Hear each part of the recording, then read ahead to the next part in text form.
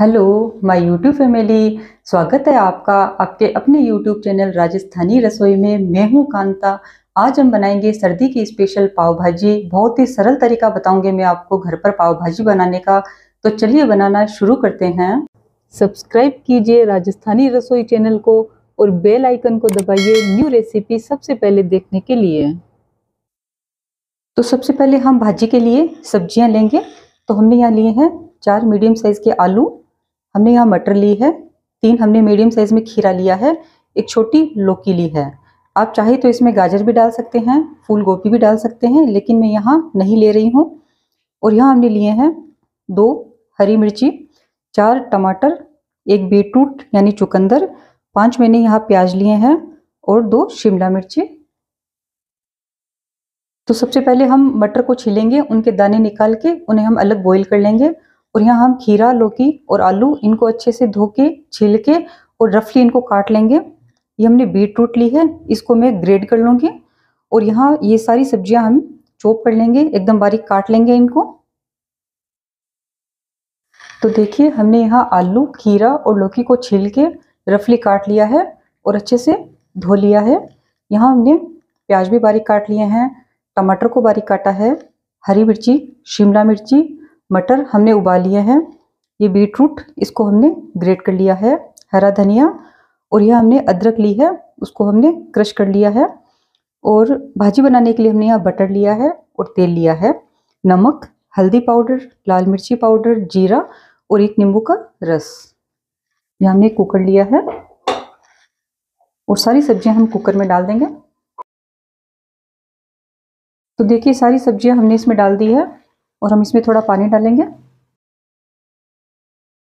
लगभग एक डेढ़ गिलास के करीब हमें पानी डालना है और इसमें हम डालेंगे एक चम्मच नमक, ताकि ये सब्ज़ियाँ जो है अच्छे से बॉईल हो जाए। और इसको अच्छे से मिक्स करके तीन से चार सीटी आने तक हम इसे कुक करेंगे। जब तक ये सब्ज़ी हमारी कुक हो रही है तब तक हम प्याज, टमाटर, हरी मिर्ची को भून कर तैयार करते हैं। तो सबसे पहले हम इस कुकर को दूसरे बर्नर पे रख देंगे।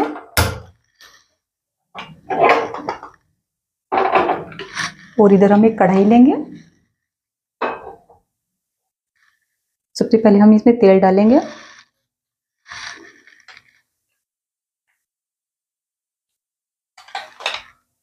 दो चम्मच हमने इसमें तेल डाला है। साथ ही हम इसमें बटर डालेंगे ताकि भाजी का टेस्ट बहुत अच्छा हो। ये देखिए बटर मेल्ट हो चुका है। इसमें हम एक छोटा चम्मच जीरा डालेंगे। जीरे को भून लेंगे। और साथ ही इसमें ग्रेट की हुई अदरक डाल देंगे। अदरक भून चुकी है। अब इसमें हम प्याज डालेंगे।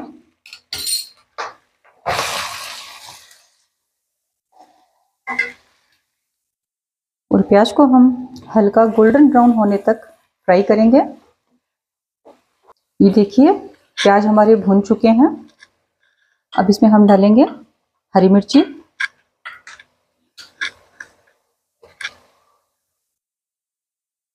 साथ ही इसमें डाल रही हूँ शिमला मिर्ची।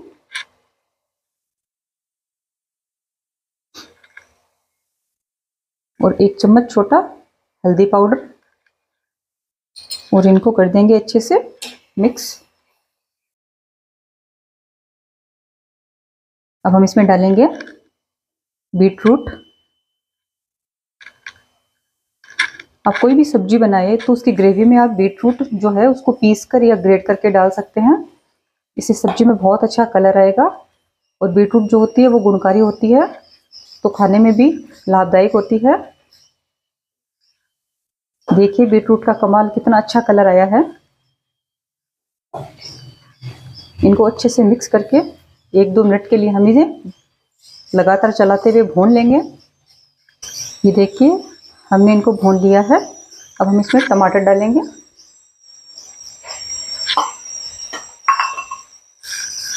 और इनको अच्छे से मिक्स कर देंगे।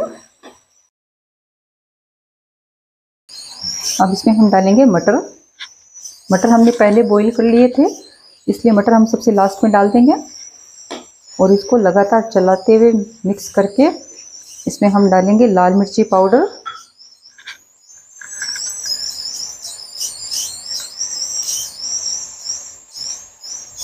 चार छोटे चम्मच हमने लाल मिर्ची पाउडर डाला है और इसे मिक्स कर देंगे। इसको ढक्कन लगा के सब्जियों को सॉफ्ट होने तक कुक करेंगे। ये देखिए, कुकर में सीटी भी आ चुकी है।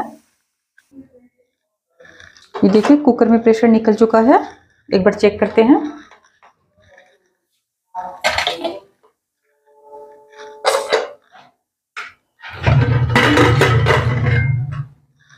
ये देखिए, सब्ज़ियाँ अच्छे से बॉईल हो चुकी है। और एक बार इसको भी चेक कर लेते हैं। ये सब्ज़ियाँ भी सारी सॉफ्ट हो चुकी है। अब हम एक मेशर लेंगे और इन सब्जियों को मैश करेंगे।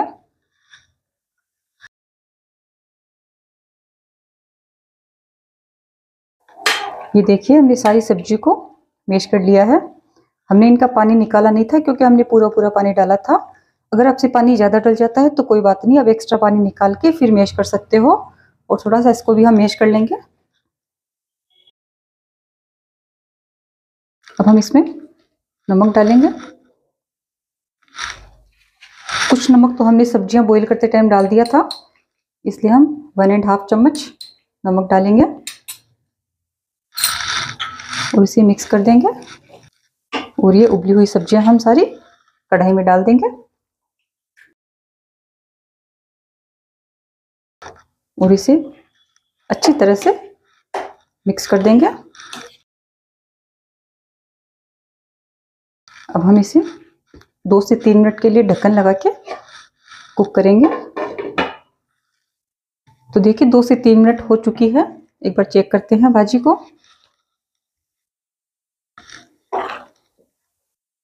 ये देखिए, गाढ़ी हो गई है भाजी। अब इसमें हम नींबू का रस डालेंगे। हरा धनिया डालेंगे।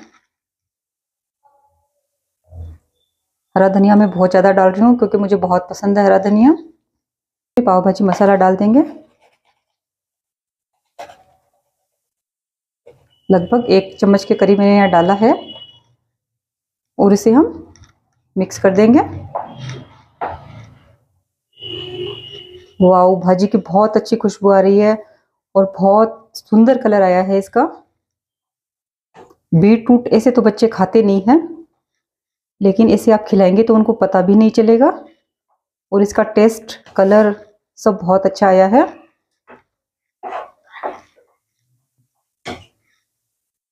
मैंने यहाँ फूल गोभी इसलिए नहीं डाली क्योंकि मेरे घर के कुछ मेंबर जो है, वो फूल गोभी नहीं खाते हैं। आप डाल सकते हैं।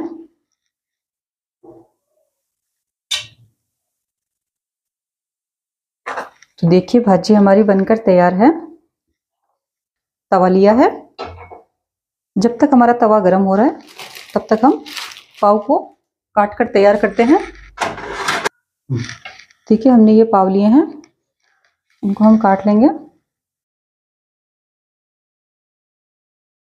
तो इस पाव को हम बीच में कट लगाएँगे। हमारा तवा गर्म हो चुका है। हम पाव को बटर में सेकेंगे। तो हमने यहाँ बटर लिया है।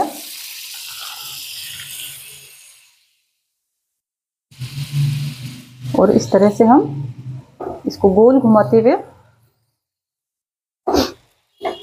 थोड़ा सा पलटे से प्रेस करेंगे। और इसी तरह से हम दूसरी साइड से भी सेक लेंगे।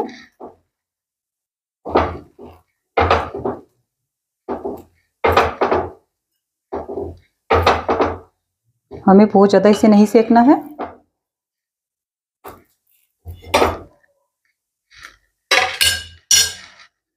इसी तरह से हम दूसरा पाव भी सेक लेंगे। ये देखिए, दूसरा पाव भी सेक कर तैयार है। इसको भी हम प्लेट में निकाल देंगे। गैस की फ्लेम को ऑफ़ करेंगे। देखिए, पाव हमारे सेक कर तैयार है, भाजी भी तैयार है। अब हम इसे सर्व करेंगे। ये देखिए, चटपटी सी पाव भाजी बनकर तैयार है। मैंने बहुत सरल तरीका बताया है आपको पाव भाजी बनाने का। इस तरह से आप भी बनाइए, अपनी फैमिली को खिलाइए और अपने अनुभव हमसे शेयर कीजिए।